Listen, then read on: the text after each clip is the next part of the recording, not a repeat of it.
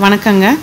Welcome to cook ரேசி இன்றைக்கி நம்ம சேனலில் நம்ம பார்க்க போகிற ரெசிபி பட்டர் நான் ரெஸ்டாரண்ட் போனோம்னா நிறைய பேர் வந்து நான் தான் விரும்பி சாப்பிடுவாங்க. நம்ம ரெஸ்டாரண்ட்டில் சாப்பிட்ற அதே டேஸ்ட்டில் தந்தூரோ ஓவனோ இல்லாமல் கேஸ் ஸ்டவ்வில் பேன் யூஸ் பண்ணி செய்ய போகிறோங்க பாருங்கள் பட்டர் நான் எவ்வளோ சாஃப்டாக இருக்குன்னு. வாங்க இப்போ வீடியோக்குள்ளே போகலாம் நான் செய்கிறதுக்கு முதல்ல ஈஸ்ட் ஆக்டிவேட் பண்ணிக்கலாங்க.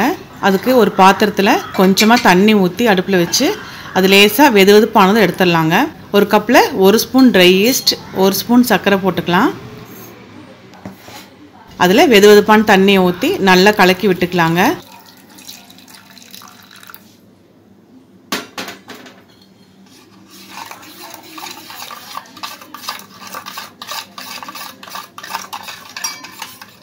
இது அப்படியே மூடி ஒரு இருபது நிமிஷத்துக்கு வச்சிடலாம். இப்போ இருபது நிமிஷம் ஆயிடுச்சுங்க. பாருங்கள் ஈஸ்ட் நல்லா நுரைச்சி வந்திருக்கு. ஈஸ்ட் இந்த மாதிரி நுரைச்சி வந்தால் தான் நான் நல்லா சாஃப்டாக வருங்க. இப்போ நான் அரை கிலோ மைதா மாவு எடுத்துக்கிறேங்க. இதில் அரை ஸ்பூன் உப்பு போட்டு நல்லா மிக்ஸ் பண்ணிக்கலாம். இதில் ஆக்டிவேட் பண்ண ஈஸ்ட்டை ஃபுல்லாக சேர்த்துடலாங்க.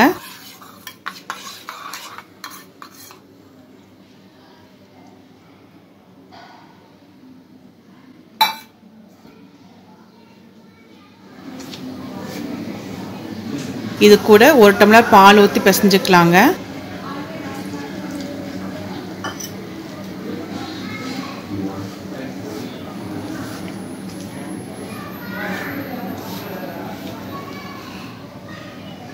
கொஞ்சமாக தண்ணி சேர்த்திக்கலாம். ஏற்கனவே பால் ஊற்றிக்கிறனால தண்ணி வந்து பார்த்து ஊற்றிக்குங்க மாவு வந்து நல்லா சாஃப்டாக பிசையணுங்க. சப்பாத்திக்கு பிசையதை விடவே இன்னும் சாஃப்டாக இருக்கணும். ரெண்டு ஸ்பூன் எண்ணெய் ஊற்றிக்கலாம்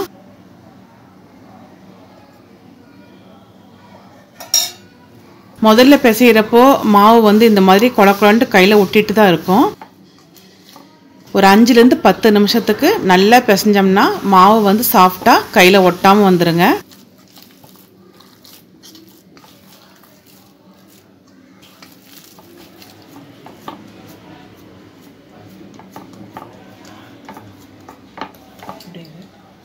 இது மேலே கொஞ்சம் எண்ணெய் தடவி மூடி வச்சிடலாம்.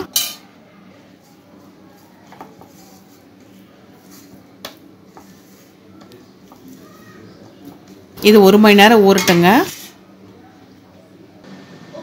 இப்போ ஒரு மணி நேரம் ஆயிடுச்சு. பாருங்க மாவு நல்லா உப்பி வந்திருக்கு. இதை மறுபடியும் ஒரு தடவை நல்லா பிசைஞ்சுக்கலாம். இதுலேருந்து கொஞ்சமாக சப்பாத்தி மாவை விட கொஞ்சம் அதிகமாக எடுத்து உருட்டிக்கலாங்க.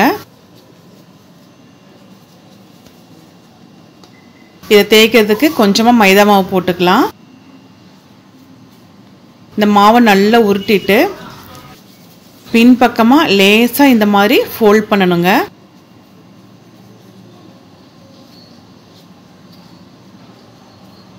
பாருங்கள் இப்படி ஃபோல்ட் பண்ணதுக்கப்புறமா இதை ஒன்று சேர்த்தி லேசாக அழுத்தி விட்டுட்டு மறுபடியும் மேலே கொஞ்சம் மாவு தூவி தேய்க்க ஆரம்பிச்சிடலாம். இந்த மாதிரி தேய்க்கிறதுனால நான் வந்து நல்லா புஷ்ஷுன்னு பூரி மாதிரி உப்பி வருங்க.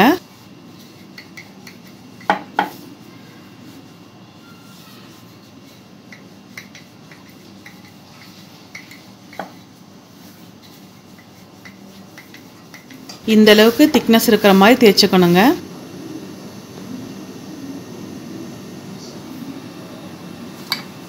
இப்போ இதை பேனில் போட்டுடலாம். பேனுக்கு பதிலாக நீங்கள் தோசை தவாவும் யூஸ் பண்ணலாங்க. பேன் நல்லா ஹீட்டாக இருக்கணும். அடுப்பை மீடியம் டு ஹை ஃப்ளேமில் வச்சுக்கலாங்க. லேசாக இந்த மாதிரி பபிள்ஸ் வந்ததுக்கப்புறமா திருப்பி போட்டுக்கலாம். ஒரு நிமிஷம் கழித்து மறுபடியும் திருப்பி போடலாங்க. ரெண்டு டைம் இந்த மாதிரி திருப்பி திருப்பி போட்டதுக்கப்புறமா கொஞ்ச நேரம் வெயிட் பண்ணுங்கள் நான் நல்லா வெந்ததும் தானாகவே பூரி மாதிரி உப்பி வரும். மாவு நல்லா சாஃப்டாக பிசைஞ்சாத்தாங்க இப்படி உப்பி வரும். இல்லைன்னா ரொட்டி மாதிரி கெட்டியாயிடும்.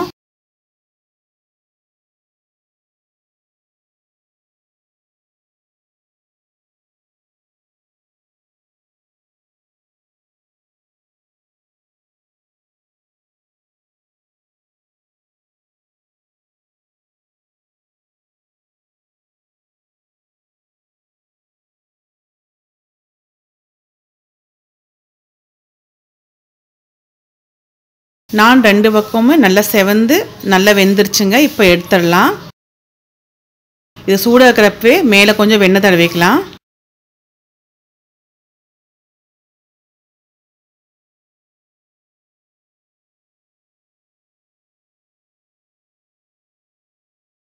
அடுத்து இன்னொன்று செஞ்சு காட்டுறேன் பாருங்கள் அதுவும் நல்லா பூரி மாதிரி உப்பி வருது.